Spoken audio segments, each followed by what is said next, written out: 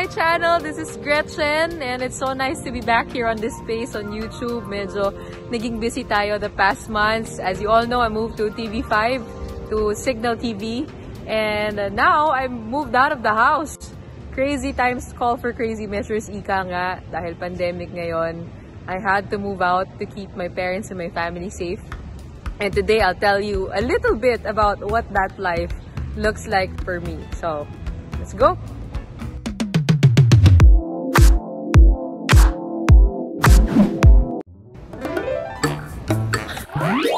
Right,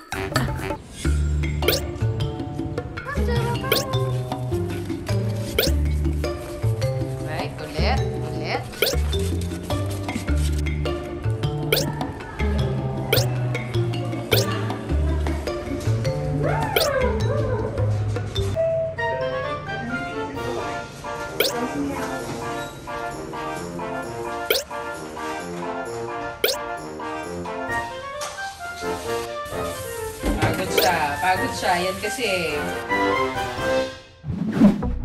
Welcome to my crib! sa labas. This is the balcony area and this is the first area I'm showing you guys because it's my most favorite of all. Um, it's the place that gives me the most joy and peace. Obvious ba? May bisikleta ako dito. Pag training, nakakabit sa trainer. So if I don't want to go out, I can just do the workout here. I also have a bean bath to relax. And I have my plants here. So dito namin sila nagdidilagan.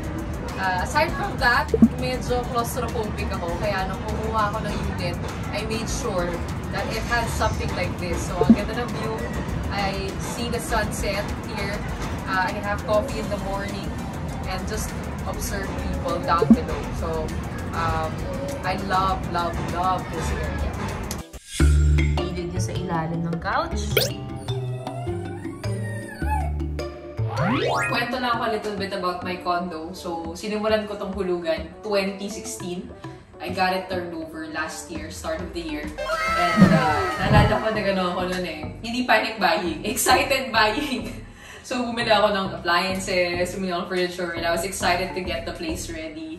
Maraming salamat din sa Home Suite for sponsoring some of my furniture. Check out their social media pages if you need furniture. And buti na lang ginawa ko yun kasi I made this area, this place, a little bit more livable before lockdown. So, ang dami ko nang nabili na mahirap i-transport during lockdown.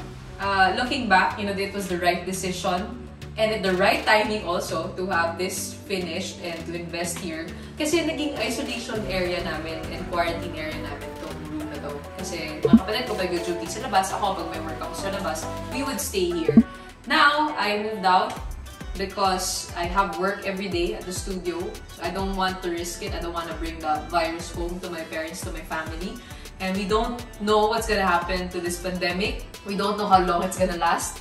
So I, I told my parents na I have to move out and have that mindset na wala, kailangan natin talagang mag-solo living, mag-adulting, mag-condo living, and embracing this new chapter of my life.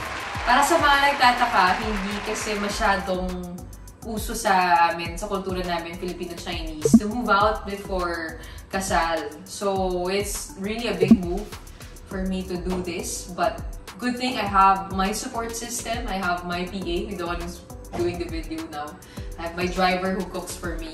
And I was already able to set up a good living system. But, ang dami pang kailangan improve ng furniture ko, ng interior ko. It's This is very basic.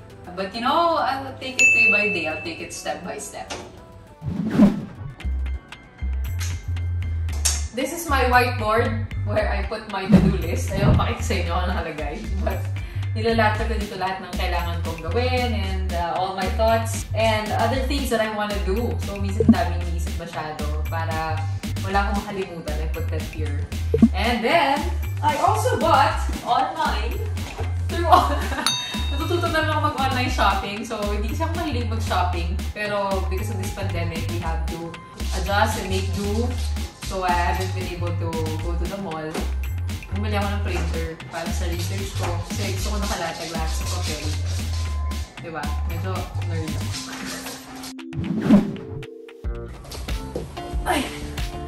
This is my mini reading area where I have a lot of the books that I want to read. So I've always wanted to have this space where I can just, you know, be quiet, sit down, relax, uh, and, and get, get a book.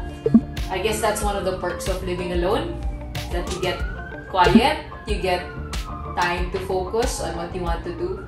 Um, And uh, dami ko pang kailangan basahin dito, dami kong gustong basahin kasi madalas kuha ko ng libro sa bookstore. Tapos gusto ko siya basahin pero I get swept away by work. So now I, can have, um, I just go here and get back to the book that I was reading. The last time that I lived alone was in when when I was in the US for the IBLP seminar. I was with broadcasters, journalists from around the world. We talked about fake news, talked about journalism under fire. Umikot kami ng iba't ibang lugar sa US. Tapos sobrang saya noon kasi parang sabi ko, wow, um, adult na ako. I get to make my own decisions. Nobody's watching over me.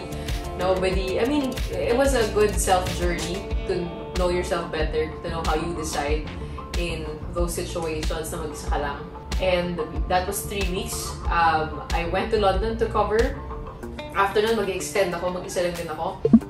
I would uh, go to Ireland, go to uh, Wales, we went to Scotland also, saya. Tapos sa Australia din, nagpunta rin ako doon. Went around universities. So I guess I, I got glimpses of that through my travels abroad. And now, this is, you know, totally different chapter for me, living alone. Uh, I'm excited to see where it will take me. But excited to dive into my books as well.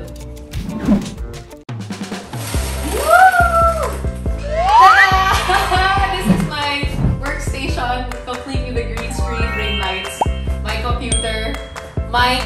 So, ito yung sineset ko pag kailangan ko mag-event and we need different kinds of backgrounds. If you need a host for your event, ready na ako, may studio ko dito. May papakita ko sa inyo. Ta-da! This is my workstation!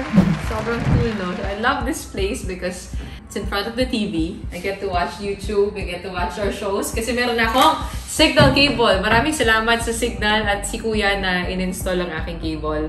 Huwag po kayo mag-alala sa aking condo building dahil hindi po kami nag-install ng satellite dito dahil may central satellite to sila. Pero, um, So I, I watch uh, the news, I watch our shows, NBA games, etc. And then can write scripts here and focus and get ideas. So, sobrang nakakatuwa yung table ko, di ba? Ganun ako kay newbie sa furniture. Nung nakita ko siya, naalibok. Space saver. Tapos this one naman, this is a sofa bed. Care of Home Sweet. Maraming salamat. Um, matagal ko na gusto magka-sofa bed. And uh, there's a lot to work on interior-wise sa condo ko. Dapat pa-renovate ko to. Pero since I had to move in um, quite fast, next time na lang. But I've been buying pieces that I feel like are in tune with the design that I want. Kung may suggestions kayo for me on how to make this a better place, please do so. Please message, comment down below. I, I would love to know your suggestions. Kung may mga suppliers din kayong kilala, pwede nyo rin i-recommend sa akin yan. But I'm really trying to, I mean, enjoy the journey step by step of making this a better home little by little. Bibili pa ako ng, ano, ng bar lights, um, nagay pa ako ng painting, table, bookshelf. Dami pa. Super dami pa talaga. Uh, unti-untiin natin, di ba?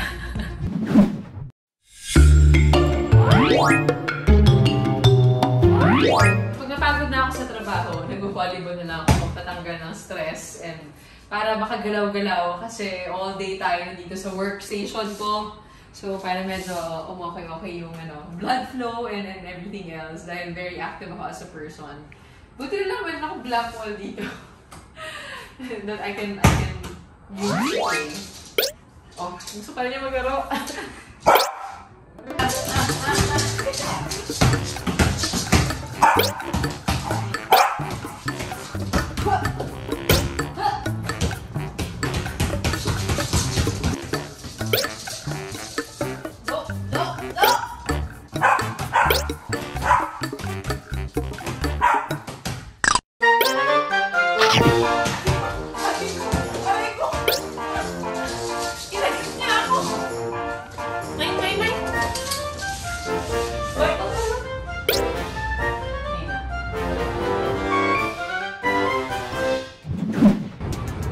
sun is about to set, as you can see. And this is, yeah, I love the view here. Pwedeng pang muni-muni, observe ng mga tao with social distancing. Uh, sarap kumingalan dito sa place na to. Thank you for allowing me to share a little bit about my life today, my my condo. Um, hindi ko na mapakita sa inyo ibang parts kasi it's a work in progress. But I think where I am right now is perfect also for where I am in life. Um, dito sa space na to makapag-focus talaga ako kasi marami pa tayong kailangan matutunan, kailangan aralin, kailangan gawin. Lalo na sa bagong trabaho ko with TV5 and Signal. Uh, please do watch our shows. The Big Story on One News, Frontline Pilipinas on TV5. And uh, watch out for more work to come. More things to come for from your Woman in Action.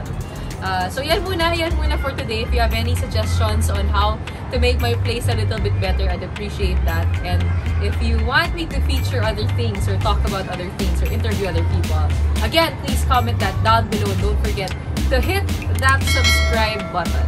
Maraming salamat and thank you for spending time with me and my dog!